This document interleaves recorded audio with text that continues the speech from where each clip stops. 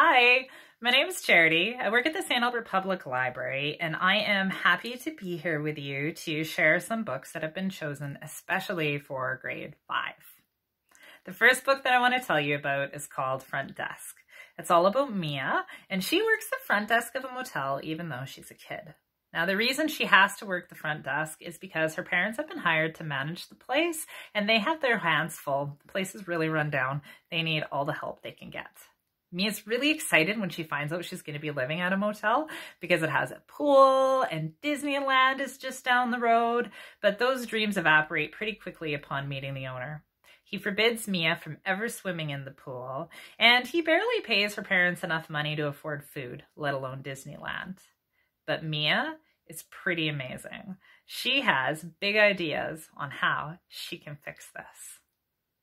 The next book that I want to tell you about is called The Matchstick Castle. Now, this one starts off with something pretty timely online school.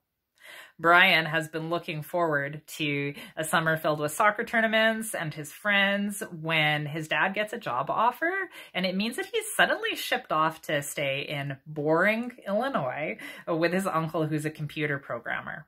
His uncle has developed a program called Summer's Cool and Brian is expected to be uh, like a beta tester and do the program all day long.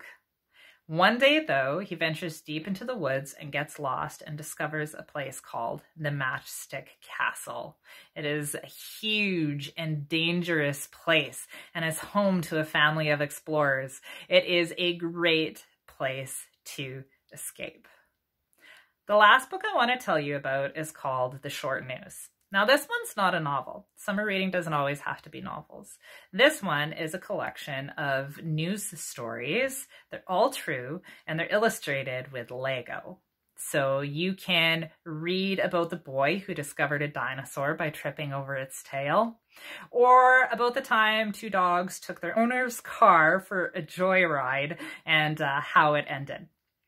There are more books that I would recommend to you. You'll find them on the list at the end of this video. If it says library, that means that it's a physical copy that you can request. If it says Libby or Hoopla, that means that they are digital resources that you can access with your library card.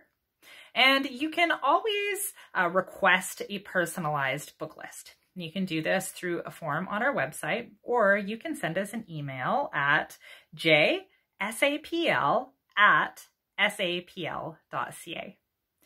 Don't forget to check our website for more information about our summer reading game. It's called Escape the Labyrinth. I'm wishing you the best summer possible, and I also hope that that involves some summer reading. Bye.